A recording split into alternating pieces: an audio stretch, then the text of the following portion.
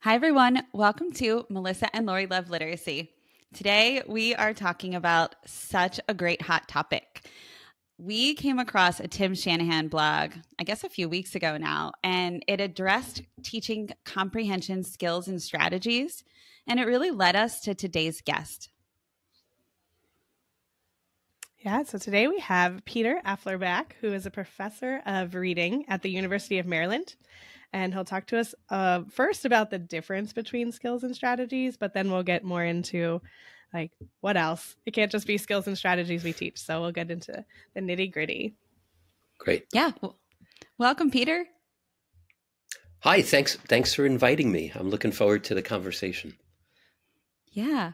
Well, there's there's so much confusion around the terms skills and strategies, likely because they seem to be used interchangeably, and I'm sure there are many other reasons, but that's the one that we'll bring up right now. Right.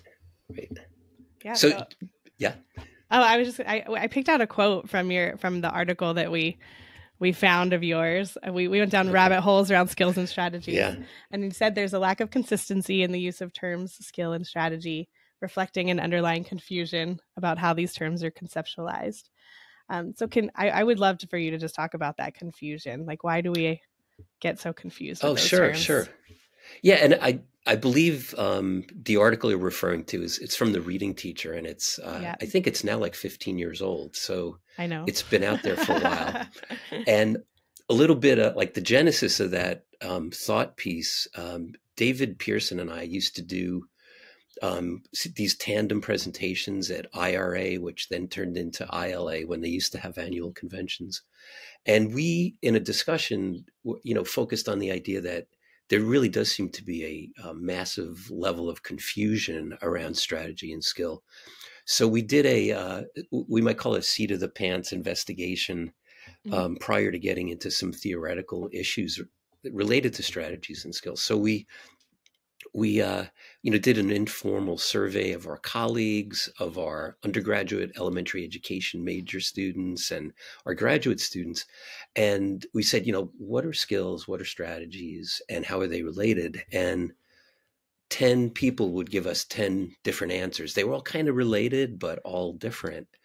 And um, you know one view is it's it's okay as long as people teach well and students learn but might there be a benefit to clarifying what a strategy is and what a skill is?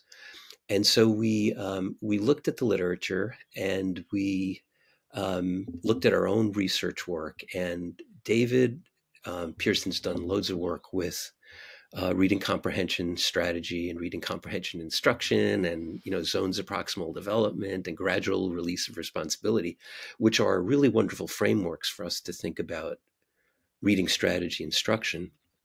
And uh, david and i were doing this presentation i think it was in san antonio um, at IRA. And Scott Paris, who's a colleague from was at the University of Michigan, was in the audience, and he came up to us afterwards, and I, we might have had a beer or or something after the talk, and we said let's let's you know let's put our heads together and try to um, sort this out and offer our ideas to, um, in this case, the reading teacher, which we think is such a good um, way to connect with classroom instruction and and the, all the wonderful teachers who provide it.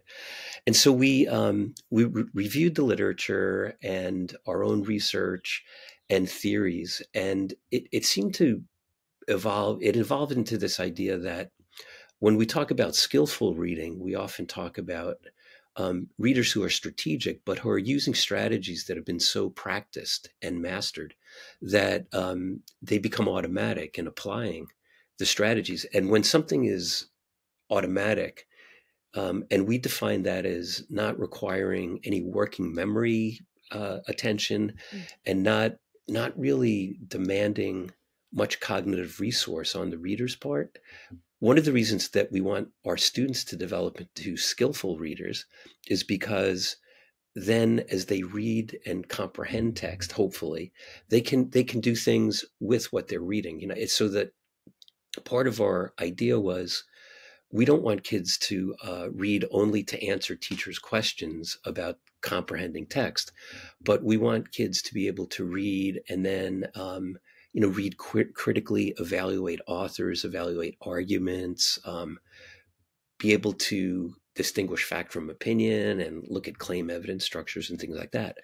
And if all of our working memory is taken up with strategies because their strategies are mindful as opposed to skills which are so practiced that we don't have to pay much attention to them. And when we don't have to pay much attention to something, it frees up thinking space or, or workspace so that kids can do these higher order thinking and tasks related to the reading that we ask them to do. So we, uh, you know, we came up with this idea that um, when we're teaching reading, and I, I prefer to use the term teaching readers, when it comes to comprehension strategies and also metacognition strategies, wh- where we teach kids how to um, plan and then monitor and then evaluate their progress across the course of reading a text or texts that um, strategies are where we want to be because as strategies are uh, resource demanding they're also um, we, we could say we can deconstruct them. For example a prediction strategy if you look at the literature on how accomplished readers start reading they'll you know they'll often look at the title of a text. They'll look at the first paragraph, a topic sentence, and it, it helps builds sort of an anticipatory schema or frame for reading the rest of the text. And those sorts of things are really um, good for teachers to model. And so when we're teaching, we focus on the strategy. So with prediction, it might, you know, it, we might think about a big book or um, a shared reading in first or second grade, where the teacher is holding up the book and it's like, look at this. It says all about fish. What do you think this is going to be about? And most kids will say it's it's going to be about fish. But you know, as as we get more and more um, focused and specific with our strategy instruction, we can point out things like topic sentences and what do authors use to signal what we can then base a prediction on. And so through practice, the the idea is that children will get more and more proficient at the strategies that they use and that these strategies will eventually become automatic so so that when you or i pick up a text you know it's it's it's sort of automatic that we build this anticipatory framework because we're so practiced and we're so accomplished at our reading. That, and that's what where we want to get our kids to get to. Um, and so it's the strategy part is how do we think about instructing readers and how do we think about building their um, toolkit of reading comprehension strategies.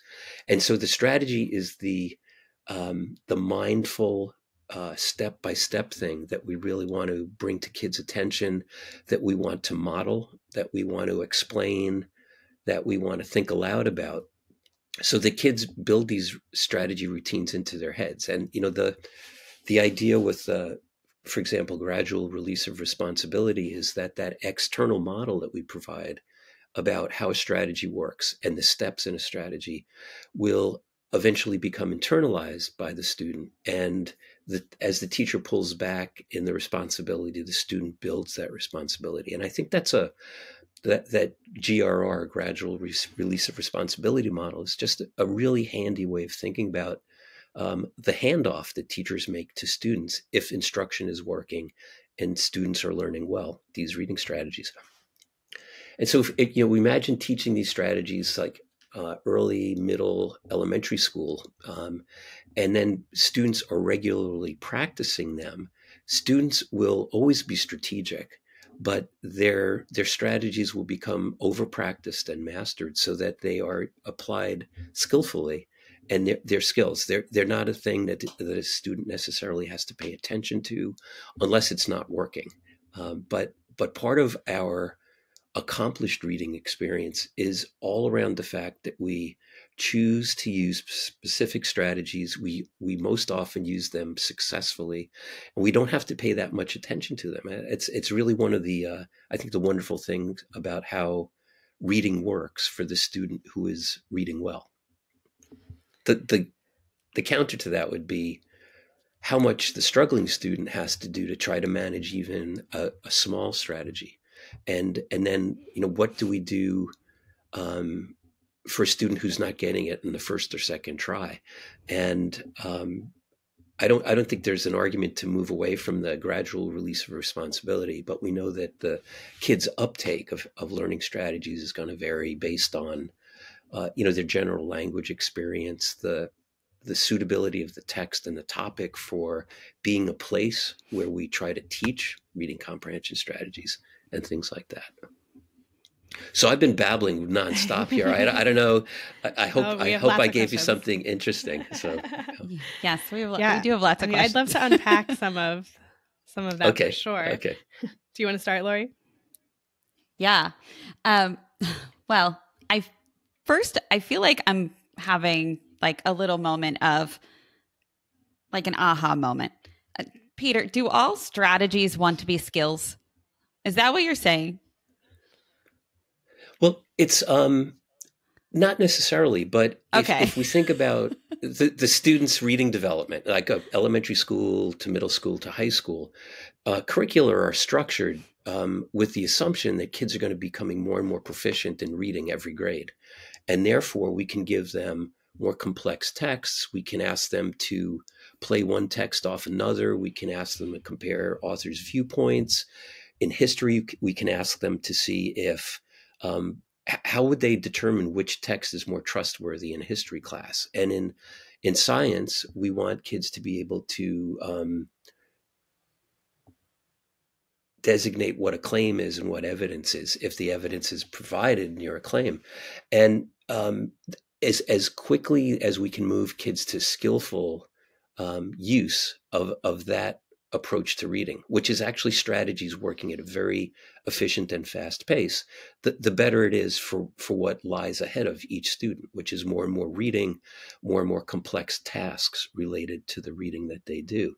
Um, at, the, at the same time, um, accomplished readers really never lose uh, the fact to be strategic if they have to. And um, one of the things that I've been doing, I mean, this is um, I think whenever I say this, I'm getting pretty old. Uh, I started doing this in about 19 uh, in the 1980s. I would give really challenging uh, paragraphs to really good readers, and the, the the topics of these paragraphs and all the markers like subheadings and titles were taken out of these paragraphs. And what it did was it broke down um, the reading of of what are usually very skillful automatic um, readers to basic strategies. And, you know, so the paragraphs that I use in my research and have used in my research, I think are, are really great um, prompts for seeing how strategic we can be if we have to be.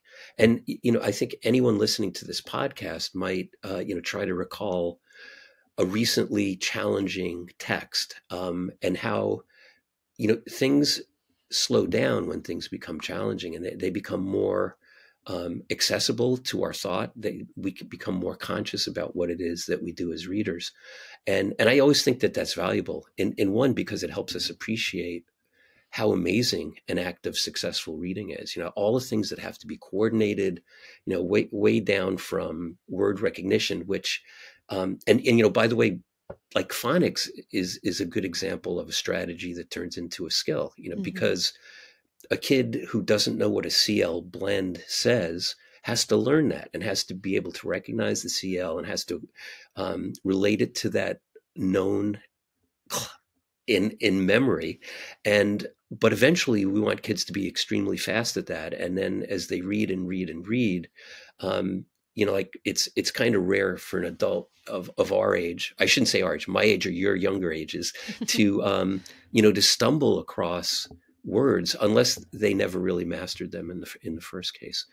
Um, and but but also um, the, the fact of being a strategic reader, I think, is something that can always be appreciated by a reader. And um, you know, like you step back and like, I well, that was a tough editorial, or um, I, I, I, guess almost everyone in the world goes to IKEA at some point in their life, you know, and and it, this is kind of a nonverbal example of strategies. But you know, like when you finally figure out what those pictures mean, when you're trying to assemble something that has 1,002 pieces, you know, you've you've developed a strategy for reading visuals, and you know that connects with what our students are increasingly um, encountering in classrooms, which is multimodal texts and uh, graphs embedded in internet pages, and then little videos. And you know, how do how do those strategies work? And I, I as an aside, I think that's one of our uh, really interesting places to be going forward. That the strategies we use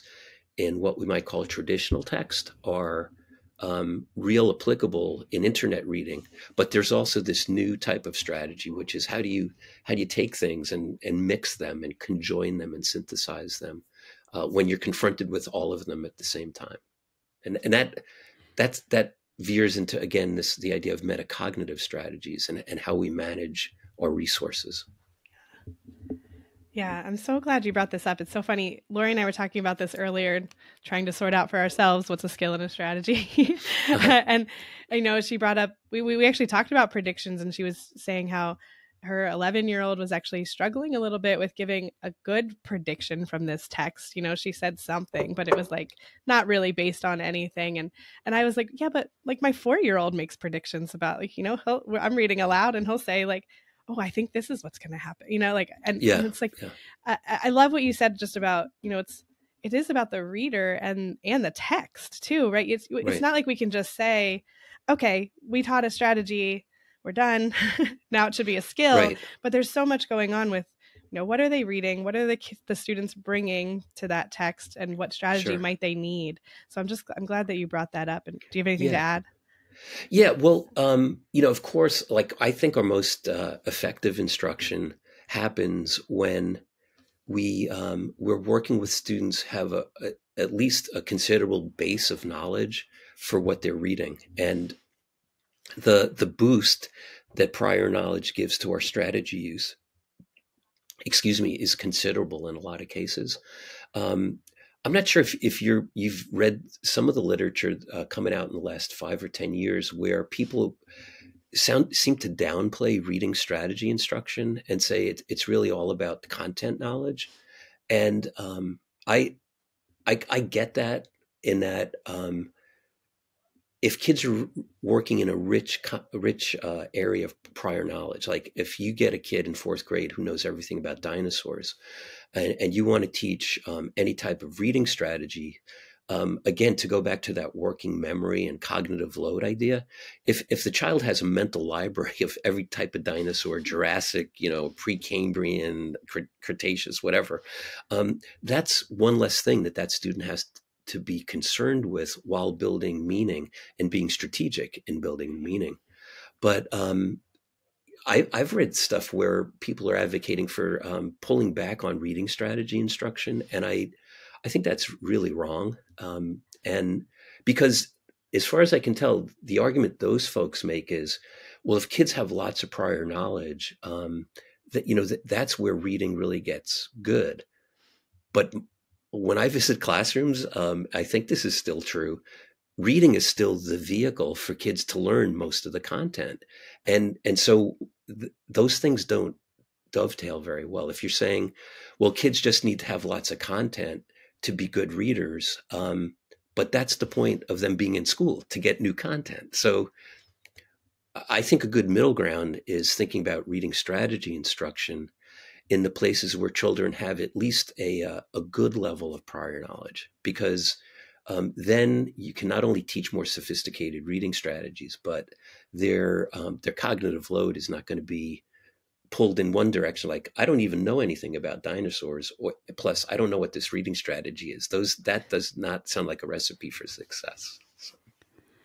Yeah. Oh, I'm so glad that you brought this up. It's something that Melissa and I talk about all the time. That there is this uh, space happening right now where folks are saying it's it's one or the other, and it's you know it's either or. And yeah, that's it, it, crazy. It, yeah, yeah, it's like both and right. You have to have both in order to be effective there. Yeah, yeah, yeah. And I guess I'll.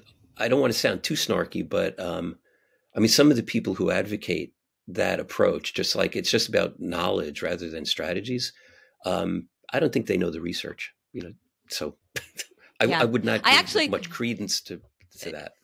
Yeah, I think knowledge is, has been such an an underserved topic in reading science that I I do see the value of bringing it to the mm-hmm. forefront. But I I agree that it's important to not forget about that we need our strategies to access that knowledge. And you're right that a lot right. of the ways that we're doing that in classrooms is through reading, is through text. So we have to have our strategies right. to do that. Such a good point. Yeah. Yeah. Yeah. I mean, I, I think you just get into a sort of a mental cul-de-sac if you follow that logic that you're, okay, so kids need knowledge to gain knowledge. Well, that's why we help them learn reading strategies to become skillful readers so they can then learn that content on their own. But embedding our reading strategy instruction in content areas that are meaningful and motivating to kids is, is of course, uh, important. So I, I think there's a, I don't know if it's a middle ground, but it's uh, it's not either extreme. That's that's going to be most successful for students. Yeah, I was going to yeah. say I think Lori and I talk about this a lot that we we were on the other end of the extreme when we were teaching, which was I, I didn't we didn't even think about knowledge to be honest with you, and we didn't. Uh, the way we did it was teaching these strategies in right. isolation. Like, I mean, we right. were like, here's a week of making predictions and what the text was right didn't even matter you know and yeah and that's where we we advocate for like yes you want of course you want to teach these strategies but you also want to do it with a text that they're going to get something from it you know you want them to right. gain some knowledge from what they're reading yeah well and it it um you know that that middle ground does a better job of putting the student in a position of strength as opposed to you know like just treading water in both the knowledge and the strategy um, columns. So. Yeah. Can you elaborate as to why? Like why it puts the student in a stronger position?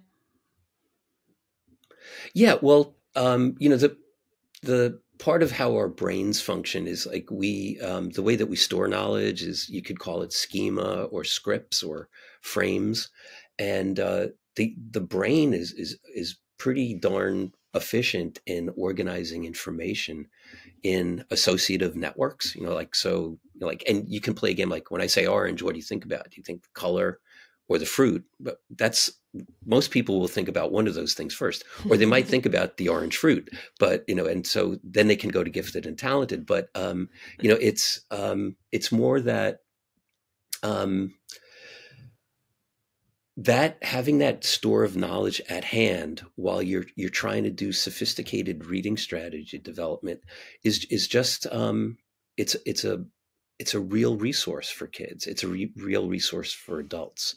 Um, our our best reading happens when we do have this base of knowledge that can feed our um, our questioning of the author. That can feed our elaborating on what the author has provided, and um, it also helps in remembering because if you have a schema for the Civil War or the Revolutionary War or imports from Tanzania or in ancient Egyptian culture, when you read and get new information using your strategies, you have a place to put that new information, and it's you know it gets bound to that existing base.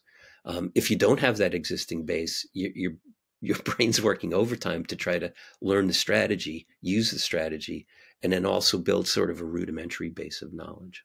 So, so I think we're agreed. Like the the nice middle ground is reading strategy instruction, where um, kids kids have a working knowledge of what the heck they're reading is is not a bad way to go. Absolutely, and they continue to build more knowledge by reading. Yeah, yeah, yeah. yeah absolutely. I don't. I, I feel like I'm going to go backwards a little bit, and I apologize for this. I just like I have my listeners in mind, and I want to make sure. I feel like we often, I, I, even hear people say like, "Well, no, that's not a skill. That's a strategy. This is a teach. You know, main idea is a strategy. This is a skill."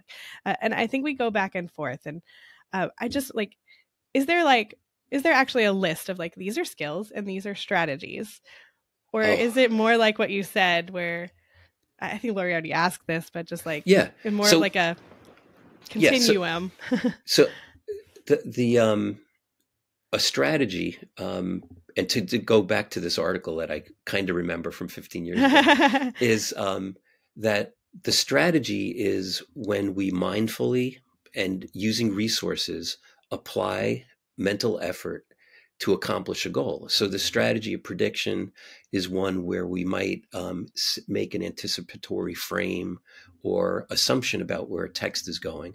And um, in making a prediction, we then read and check the incoming information from the text to to see if our prediction was accurate. And if it was, then we go, "Yay, I'm a good reader," and continue on. If not, uh, you know, then this invokes comprehension monitoring, which is uh, its own set of strategies. Um, and we want all students to do this, but they don't do it automatically. They don't just like go to the skill, which is the supercharged, fast, automatic version of a strategy. So um, the typical student reader is going to develop strategy, strategy, strategy, moving um, gradually, but sometimes quickly into a skill mode based on how well they learn it, how well it is taught, and how often the student gets to practice it and master it. Okay. Um, that's the learning part. Our teaching part is um, we don't teach reading skills. I mean, I like that's that's one of the points of the article that if we visualize or um, conceptualize skills as automatic, you can't teach stuff to automatic to students. That's where we hope they get. Right. But you have to teach the sort of deconstructed idea of it, and that's not a bad thing because um, what what that does for us is it it lets us think about what are the steps that I must go through as a teacher to help teach the readers in my classroom. What what are the strategic steps that I can get from making a prediction or synthesizing information from across four resources on the internet? Or if I want to get metacognitive, what are the strategies that I can develop to check my understanding at the end of sentences and paragraphs, things like that. And those are the those are the step by step things that I, I, mentioned earlier we can explain, model, and think aloud about for our students, which we know are um, really nice ways of delivering strategy instruction. Yeah. Does so, does that help? Or? Yeah, and so I mean, I'm just thinking like, and strategies can get more and more complex over the years. I, yeah. I just always have this list in my head of like, there's like five comprehension strategies and these are the you know and and and the way you're talking about it to me feels like it's any anything that helps a reader understand what they're reading is, is yeah. a strategy like yeah. you're helping giving them another strategy and there might be some basic like predicting and summarizing yeah. that that they fall under but it doesn't sound like i'm just gonna you know come into a seventh grade class and teach them how to summarize like they've never heard the term summarize before. Right right right. But more yeah. it's about the the specificity of okay now you're in seventh grade and there's this more complex text. How do how do we tackle that?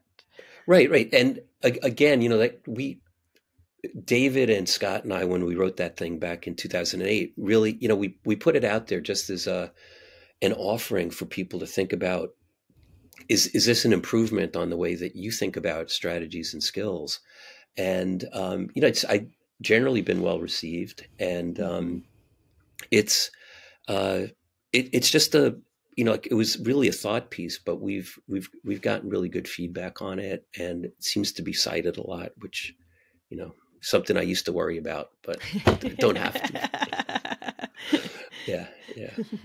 Yeah. So, uh, I mean, I feel like what we're kind of getting at is that it's less about like categorizing, whether it's a skill or a strategy, and more about keeping yeah. the text and the reader at the center. And also, it's kind of less about like the number, like people always ask us this question and ask on social media, like, how many hours should I teach strategies and, and skills? And, you know, what's the number yeah, of hours yeah. should I teach?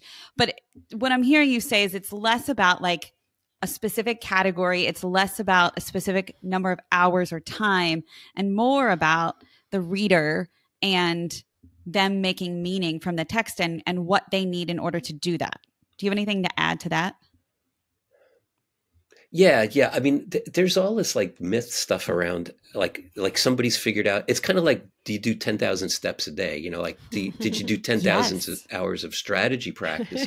and there's there's actually like people who write and say like if you spend ten thousand hours doing something, you'll become an expert, which is like the most mind-bogglingly stupid thing I've ever heard. You know, like but totally. but people actually have bestsellers that that go around.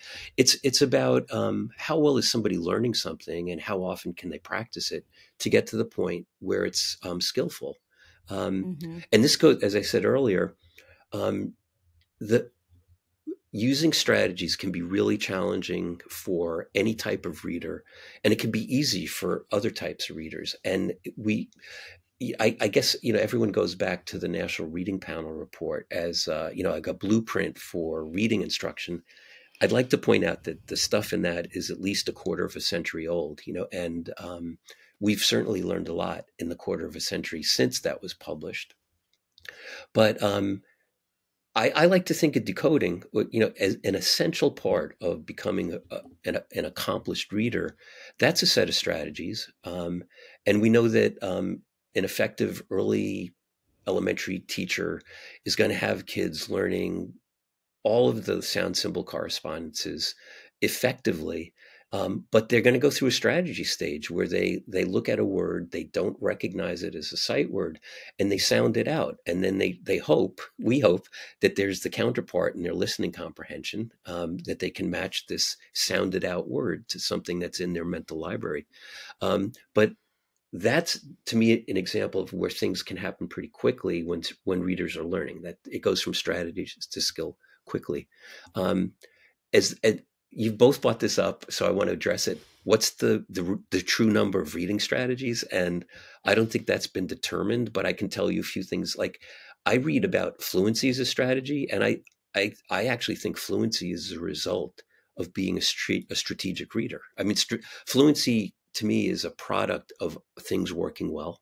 Um, because a, a, student's attending, a reader is attending to prosody, intonation, ex, you know, exclamation, but also doing all of the strategic processing in a in a very efficient manner. Um, I, I, wrote a chapter with a few doctoral students a few years ago, and we looked at the popular literature, and I think the the longest list of reading strategies I could find was something like 27, and I, I was surprised because I I thought I sort of knew the literature, but um, it. I'm being snarky here, but um, I think a lot might, more than I thought.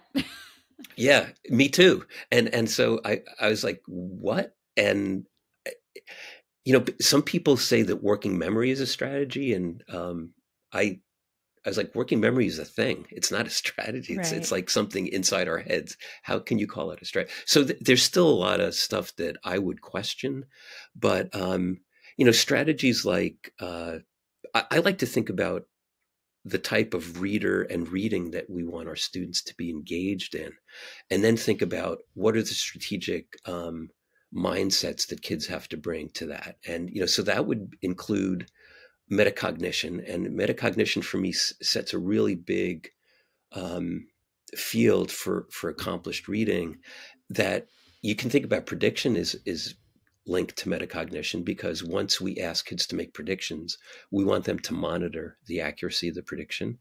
Um, we want kids to set goals for their reading, and we can model that for them and think aloud about it. But eventually, we want them to do it independently. And if you set a goal, then you want to see if you're getting towards the goal. So that comes back to being metacognitive also. Um, summarizing is certainly an important thing. Synthesizing is really important. And then um, you know, something that I think too often is held off until later grades, helping kids become critical and evaluative readers um, is really important also. And my my take on that is like when we start asking kids to think about fact and opinion, is that's that's a nice little strategic inroad into um, helping them become critical and evaluative readers. So. Well, I'm I if we have more to say about skills and strategies, we can. but I'm also interested in you wrote a book um, that is, is funny because yeah. we asked you to talk all about skills and strategies, but your book is called Teaching Readers Not Reading Moving Beyond Skills and Strategies to right. Reader Focused Instruction. So I'm just wondering if you want to talk any about that of like, what, what does that mean to move beyond skills and strategies? Yeah. Well, well thanks for asking that question. Um, so I started graduate school in the late 70s and um, i was really fascinated with what then was like a pretty nascent uh, look at reading strategies, like what are they, and um, what do they look and feel like, and then can we teach them?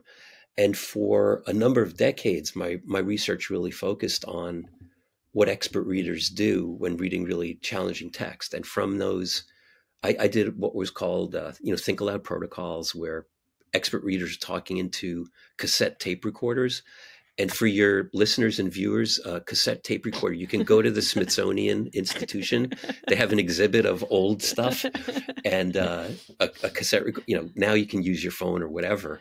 But these really accomplished readers would be talking into uh, the tape recorder, telling me about the strategies that they were using. And so, like, I I earned my paycheck for a number of decades doing research on on strategies and skills and um, you know, at the same time, uh, teaching um, elementary reading methods courses every year, every semester, with um, elementary education majors, um, and visiting them in their classrooms and remembering my own teaching experience. I've I've always known that the strategy and skill idea is only part of the equation, and I've become increasingly uh, concerned and alarmed when uh, this science of reading stuff has you know just taken over the um, the media and a lot of people like powerful legislators ideas about what's necessary for kids to learn to to be good readers. And um, i would never argue that strategies and skills are not important and are not central but i i, I argue in this book that um, we can't ignore the other stuff that we know is really important. And this is especially so for our struggling readers. And so in in the book, I you know I talk about the importance of strategy and skill, but I also go uh, where all good teachers go, which is how motivated and engaged are students, and um, is my student self-efficacious? Meaning, does my student believe in herself or himself or their self um, in uh, will they be able to succeed when they read? And um, how metacognitive are students? Because if students are not metacognitive when they leave our classrooms at the end of the teaching year, then how would we expect them to be independent readers if they're not able to manage it on their own?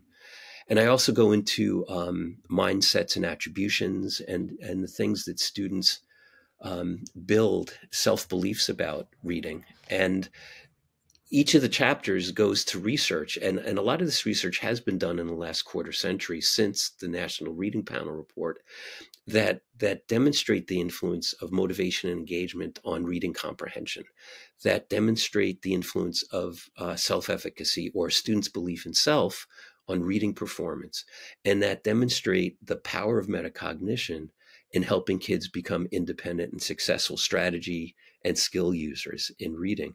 And so the book is really an argument for um, let's not let's not forget about these things that they they always are in the background, I think, in discussions, but they's not always in the forefront. Whereas um, my read of a lot of the science of reading uh, rhetoric is, well, you know, if we get kids all set on phonics, then their lives are, are set and they'll be happy, successful readers. And I, I don't think it works that way. I, I think that, um, especially for our most struggling readers, um, if, if you're not doing well in reading, you you build an expectation of failure you know so this this becomes part of the attribution story that each child develops and um, you don't believe in yourself so your self-efficacy is low and you're not motivated and so you're not engaged and so how do how do we expect something like pure reading instruction, which would be strategy and skill from one perspective, to be successful when we know that all of these other things have powerful influence on reading development and reading achievement. So it's um, the book is really a it's a book length plea for us to um, pay attention to what we know through research now um, as to the power of these other factors on reading development. So. I love that that's, so much. and and it's it, yeah, it's I mean that's I, my editor at um, at Guilford Press, who published the book, we went back and forth about the title because it's kind of an awkward title. It's called "Teaching Readers," not "Teaching Reading," and then there's a you know colon because at academics you always have to have a long rambling title. But um, the the idea is readers are these individuals who use strategies and skills and must learn them, but they're also individuals who can or may not be motivated and engaged, who may have higher or low self efficacy, who may be um, making attributions to effort or making attributions like I'm dumb or the teacher doesn't like me. And, and we have to pay attention to those. You, you look at, I, I, directed two university reading clinics and uh, at Albany and the University of Maryland. And the kids who come in every year to those clinics have fairly predictable profiles when it comes to motivation and engagement, self efficacy, attributions, and metacognition. And that profile is often they're lacking in all of those, or at least some of those. And, and to think that our really effective strategy and skill instruction is going to solve the problem is, I think, short sighted. It can be part of it because as our kids experience success with strategies and skills, they can become more motivated. They can see um, that their effort is leading to a, a, a good outcome, um, they can become motivated and engaged when they read and experience success independently. Those sorts of things. So, yeah, that's such a thanks for letting it's, me make that little plug. Yeah. yeah.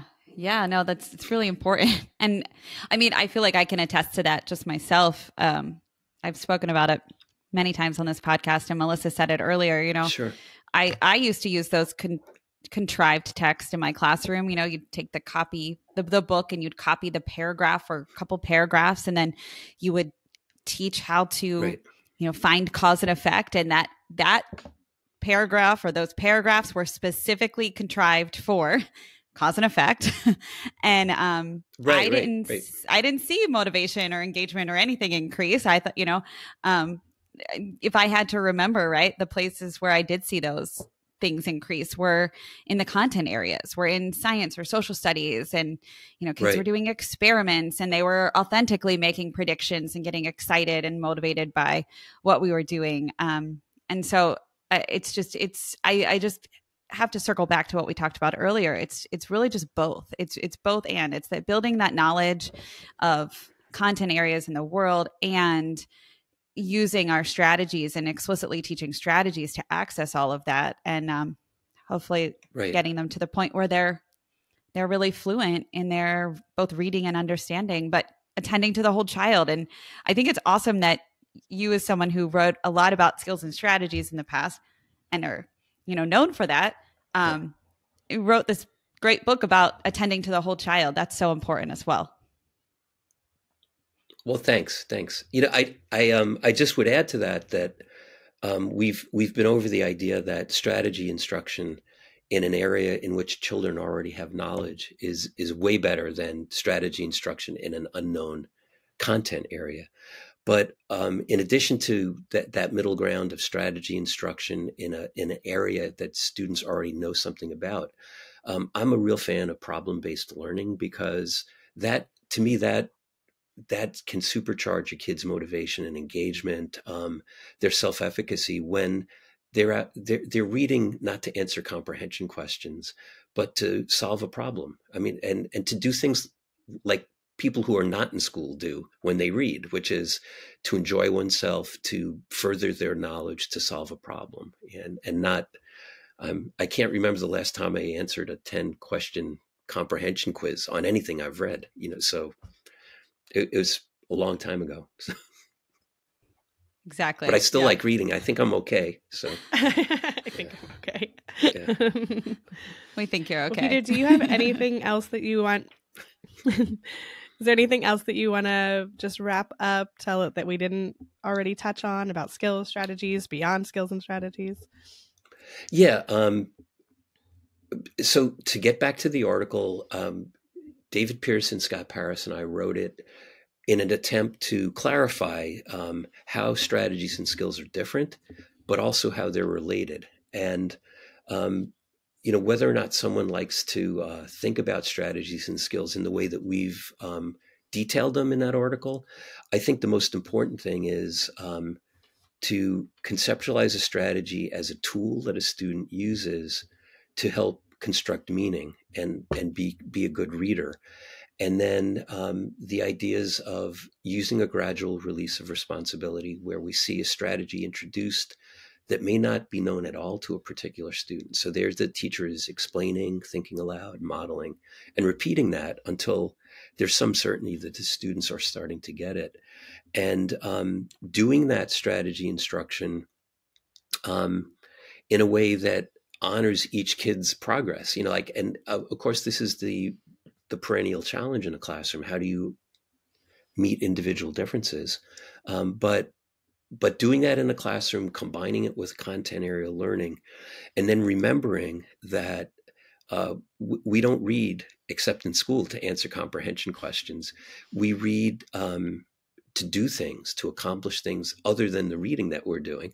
And that as our curriculum can reflect that, and as we can build in opportunities for kids to um, feel like they're making a contribution to their classmates, to society, they're solving their, their own problems, they're examining an issue that might be really relevant to their life at home or uh, an issue with a friend. Th- those are all things that that matter and that can um, be catalysts for kids becoming better uh, and more strategic. Um, so, so strategy and skill, we teach the strategy, and we hope that through practice and mastery, the kids become skillful in those strategies. Um, sometimes our strategy and skill package is so um, on demand because we're reading difficult material the strategies will will show themselves to us like most of us at, at our stage of reading development are pretty proficient and we we don't think about reading strategies. We just use them and we want our students to get there but they they need this vast experience in many cases to get them to this very skillful automatic application of what were once strategies. So i hope i didn't confuse things there but i don't, I don't think, think, you so. did oh, okay.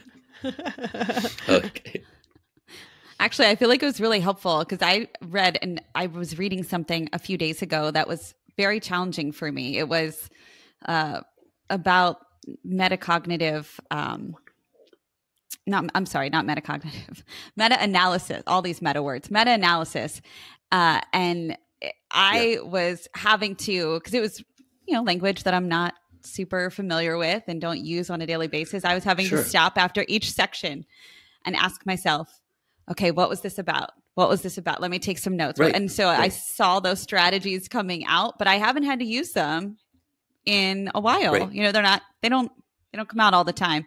Um, so I, they were yeah. there when I needed so that. I, this conversation was very timely. I was reflecting on that as we were, as you were talking. Yeah. Yeah. yeah. Well, I mean, that's, that's a wonderful thing about, again, um, you know, how the brain operates is like, if things are working, we don't pay attention to them. You know, like we pay attention to things when, from a cognitive strategy perspective and skill perspective, when they start breaking down, or we know that they're not working, and we know that because of metacognition. So, and l- one last plug for metacognition. Um, yeah. You know, metacognition was not included in the National Reading Panel report, and it's not one of the five pillars of No Child Left Behind. And unfortunately, it is frequently left out of reading curricula but but I'd ask this question: if if you're not teaching metacognitive strategies, um, how could you hope that your kids will walk through the, classroom door that last day of the school year and read independently and successfully if they're not metacognitive? So, um, and there there are loads of um, I don't think they're 27, but there's a good number of metacognitive strategies that we can uh, we can help children learn and and use. Do you want to oh. share some of them? Yeah, but that's what I was thinking. um, well, you know, so in our uh, in some, in the reading clinics I've worked in, um, I mentioned this earlier. A lot of kids come in and like metacognition is an alien concept to them. You know, both we wouldn't ask them to conceptualize it; we'd ask them to to practice it and learn it. Um, and if if you have a student who gives every indication of not being metacognitive, meaning you could ask them, "How's your reading going?" and they go, "Okay, it's going good." And then you ask them a question, and they don't know any answers. Um, we start with really simple questions like Does that make sense at the end of a sentence? Do I understand? And, you know, again, it's the idea of importing what's at first an external prompt. It could be a teacher, it could be a, checklist, or both. And once in the clinic we see our students starting to internalize, does that make sense? Then, then they've starting to get their head wrapped around why we're reading in the first place, which is to construct meaning. And of course, those are like the little uh, acorn metacognitive questions that grow into the mighty oak of metacognitive awareness. But you can follow does that make sense? Um, do I understand? With is there a problem? Can I identify the problem? Um, can I fix the problem? Can I get back on track? And you know, I'm I'm pretty sure I was never taught metacognitive strategies, so I'm not sure how they developed. And I think this is an important point that I haven't made earlier. It, that's me saying that I actually say things that are important. So let me let me step back. But um, it's I think a lot of people become strategic and have become strategic in the past. Like if you think about monks and you know scribes back in the Middle Ages, or or in ancient Greece or Rome, or in Africa, or any place where literacy developed, I'm pretty sure they weren't teaching metacognitive strategies, but people became pretty good readers. I think that strategy instruction has the benefit of making more efficient our students' learning, and and I I, I think it's. Uh, a really productive way of spending school resources and time um, in doing reading strategy instruction. A lot of people can develop strategies on their own. I'm not quite sure that we know how that happens, but strategy instruction is the more direct and more efficient way to help students get there. Yeah. To your point about uh, metacognition, um, I've talked about this, I think, on a previous podcast, but not for a really long time, I don't think. Mm. I used to to teach a fitness to teach fitness classes. And one of the fitness classes i taught was a body pump class. It's weightlifting and you can hurt yourself if you don't do it right uh-huh. right? I mean that matters. Um sure. and so when i you know i what you're making me think about is when we were doing you know if I'm, I'm standing there teaching the class there's 35 40 people in front of me everybody's squatting.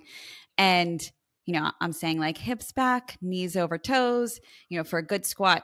Well, what always scared me is the people who came back week after week not having any realization or awareness that they were not mm-hmm. even in the ballpark, right, of doing us that correctly because they could get really hurt. Right, right. So right. to me, like this metacognitive piece is like, am I aware that there's a, an issue? Right. Am I aware that I'm not understanding what I'm reading? Am I aware that my squat over time is going to hurt my knees if I don't sit back a little further or whatever it might be. Um, and I think the part is the awareness that when our readers are are saying, "Yeah, uh, everything's fine, I'm doing great," but they have no idea what they read. That's where, as as teachers, we need to pause and okay, what do I need to do for the, this student to really help them dig in and understand that they don't understand and that actually it's a really right, good thing right. to know that I don't understand. That's a great thing, right? Yeah, and then it is. What do I do yeah. about it? right, right. Yeah. Well, I, I, you know, I think the sports analogy is really a- apropos, and that um, if if we picture ourselves as teachers, as coaches, um, what we want to do is get kids to the point where when they're out on the field or you know on the pitch or in the court or whatever to keep the analogy going, um, they can independently um, do the things that a coach did prior. You know, like th- they bring their toolkit, which we help them build as teachers, to um, eventually be independent. And and so it's not our calling attention to like your ground stroke is way off, or you're going to fall backwards and that weight's going to crush your ability to breathe you know or something like something drastic. That usually doesn't happen in reading but um, you know it's it's the same idea. That the coach provides a voice of um, regulation in the case of metacognition that we want kids to eventually adopt and use themselves. And then they're independent so. yeah. I love that. I, I love sports analogies. They're right up my alley. yeah, yeah. There's a lot of there's a lot of relationships I think between being a good coach and being a good teacher. So Agreed. they're one and the same from my perspective. Yeah. Agree, agree. All right. Well, Peter, we'd love to wrap up today's podcast by asking you some rapid fire questions about things that you love. Uh-oh. And this, Okay. I know Oh, this may or may not be related to uh to, to reading. You you can take it wherever you want to. Sure. Okay. All right, So- first yeah. first question. Yeah. What do you love to read? Um, well, I'm like three quarters Irish, even though my last name is not Irish. Um, and I, I love I love Irish literature. Actually, you know, like the contemporary Irish fiction writers and uh, classic Irish fiction writers. Um, I love um, Alice Munro, short story writer. I love Ian McEwan, who's uh, sometimes dark and strange British novelist. Um, I love reading the newspaper every morning. Um, all, it, we, we used to call it a newspaper. Now it's online, but um, but it keeps your fingers from getting all the newsprint on it. You know, and back in the old days, um, I, I like reading other researchers and theorists' work because I've uh, well, I've spent I've I really spent decades at this craft, and um, I always find like my thinking gets really well influenced by others' thinking and others' writing. And uh, what else do I like to read? Uh, somehow I got I got I get emails from People Magazine, and uh, they'll shoot me like these emails, and it's about like two or three people, and I I don't know have any idea who these people are. You know, like so part of me is very proud that I'm so out of touch with popular culture, and part of me worries that um, I'm really I'm really getting defunct and uh, yeah. That's great. But um, That's too funny. yeah, yeah. Oh, and I, yeah, I just I, I grew up. I went to school and I was a public school graduate in New York City. I went to uh, PS thirty three and junior high school one hundred nine and Jamaica High School in Queens. And uh, I, I grew up with the New York Times and the, the New Yorker as uh, regular things in my household. And you know, of course, this is leads to a pitch for you know if you grow up in a household where people read and model reading and value reading it's it's almost inevitable that you'll become a pretty decent reader. Um, but we have to remember that for our struggling readers that um, that might not be going on in some houses, and the literacy that's practiced in some some households and communities is not a good match with um, the literacy that's expected of kids coming into school. So. Other things like I like to read street signs when I'm lost. Um, I like to read wine labels to see if the person who wrote the wine label is tasting the same. You know, like uh, I'm getting pear, I'm getting persimmon, I'm getting wet riverstone. And as one of my daughters said, do people actually like lick a wet riverstone to come up with that? I know, So- I know. Those are always funny. Yeah. I love it. All right. So All right. I'm- I have I- another th- question. for those you. are the Oh, things I like to read. Yeah. Okay, one sure, more. Ready? Sure. All right. What do you Yeah. love to watch?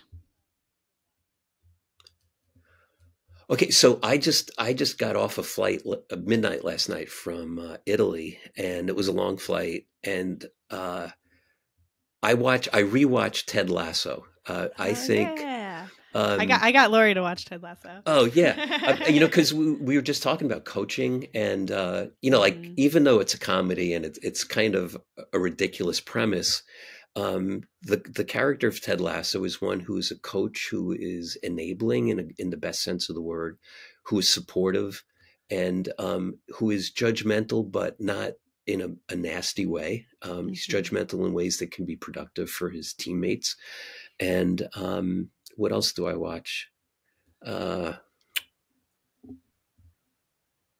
yeah, I, I watch more movies than TV because I figure if I, I'm watching TV, I have to come back to every episode, whereas movies done, you know, after an hour and a half or two hours. So, um, yeah, I did. I, I got to put in a pitch for this. The best movie I saw. Well, I saw a lot of good movies. One was uh, Women Talking. Was was a really wonderful movie, and then a movie about a donkey called E O, just the letter E and the letter O, and it was uh, a nomination for best film, foreign film from uh, Poland, and it's it's about life across a couple of weeks from the perspective of a donkey, and Huh. it's it's uh it's charming upsetting and i thought really engaging so Interesting. yeah We'll have so, to find that one. Yeah. All right, one last question. Oh, okay. Why do you do what you love for education? Um, well, so um, education's in my family DNA. Like, uh, well, my mom was a librarian in New York City public schools, and my older sister is a retired special education teacher in Massachusetts, and my younger brother was a history teacher in New York. And um, teaching just seemed to be, you know, part of how I thought about life. And uh, I, well, specific to reading, you know, like I've always thought reading's like the best invention ever. Like um, it's better than um, Soda Stream. I think it's better than um, a cell phone. You know, it's it's just to me, it's like one of the most amazing human accomplishments, and and I, you know, I, I think I figured out early on, like if you're successful in all school subjects, you have to be successful in reading um, to start off, and so um, that might be a good place to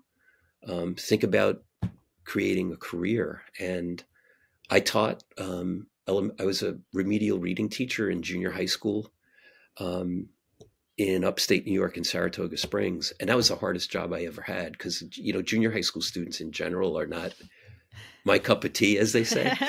but but you know, a, a, struggling seventh, eighth, and ninth grader is someone who's faced a lot of failure and has usually has really diminished self esteem and self efficacy. And I was a chapter one K through six reading teacher, and so when I went back to get my master's and then my PhD, those experiences really influenced the, the choice of things that I wanted to do because I I felt like I was so privileged growing up to not have to worry about learning to read. It just happened, a combination of of factors. Um, I think you know reading's a basic human right, and so uh, being able to do what I hope is some productive work in that area has been very uh, it's very been very personally rewarding. So. Well, thank you for your work and for sharing all of your knowledge with us today. Oh, really sure. Appreciate it. Sure. Well, it's it's great to get to know you, and thank you for inviting me. Um, I, I hope there's something worthwhile in this hour. So. Absolutely. okay.